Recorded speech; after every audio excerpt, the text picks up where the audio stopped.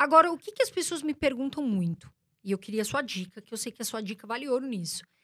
Pessoa tá endividada. Ela fala, Carol, mas como é que eu saio das dívidas? Você acha que tem um passo a passo que você Tem, pode falar para ajudar os brasileiros?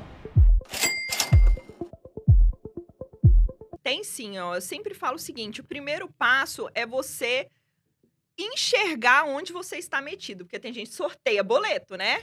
A pessoa chega na caixinha dos boletos fala: Ó, agora vai ser esse aqui. Não faça isso. Então, pegue todas as suas dívidas, tenha consciência de tudo, faça. Faça uma planilhinha ali, ó, bonitinha, com o nome do credor, com o valor inicial da dívida, com o valor da dívida hoje, com o set da dívida, que é o custo efetivo total, ou seja, taxas de juros mais encargos, porque a partir daí você já vai começar a ver o tamanho né, da situação. Mas não se desespere, não se desespere, porque tem jeito para tudo nessa vida, né?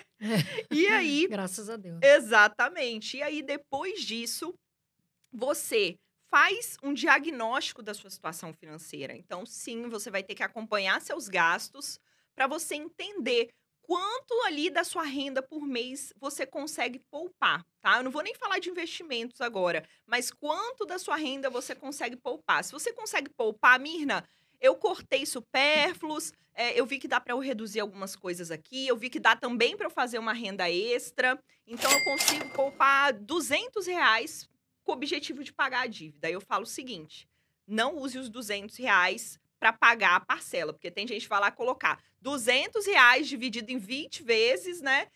E aí, se acontece uma emergência com essa pessoa, ela se enrola novamente na dívida e não tem reserva nenhuma. Então, separe 50% desse valor que você consegue poupar todos os meses, justamente para começar a quitação das dívidas. Lembrando que se seu nome está lá, né, no SPC, no Serasa, nos feirões você consegue renegociar Tá com tendo uma agora, inclusive, é, né? exatamente. E tem feirão online também o tempo inteiro, né? E aí você pode renegociar a dívida, às vezes, com 90% de desconto. E quanto mais dinheiro você tem na mão, se você tem o poder ali né, de renegociar, você às vezes consegue um desconto ainda maior, quitando tudo à vista e não parcelando. Então a gente tem esse passo a passo. Fazer um diagnóstico financeiro, entender quanto ganha, quanto gasta, quanto é possível ter ali todos os meses, começar a reserva de emergência e já ir separando o valor para quitação das dívidas. E lembrando que tem ordem de pagamento das dívidas, tá? Então, primeiro, a gente fala que vem aqueles bens Essenciais, né? É, As dívidas É, essenciais. exatamente. Vem o quê? Vem, vem as dívidas essenciais, vem os bens em garantia, porque se você não pagar, eles vão tomar. E depois vem cartão de crédito. Que Porque é altíssimo, os juros, né? Exatamente. Muito alto. Mas vem depois que você vai ficar sem sua energia. Às vezes a energia tá atrasada, a água tá atrasada. Isso vai ser cortado. Então isso aí entra na frente, né? E Então, aí- o passo seria, primeiro, o diagnóstico, ou seja, É, consciência. Exatamente. Aí, o segundo passo, a pessoa separa enxergar o dinheiro, as dívidas, né? enxergar Não tudo, todas. né? Conseguir Sim. poupar 200 reais. Então, pega uma parte ali para pôr.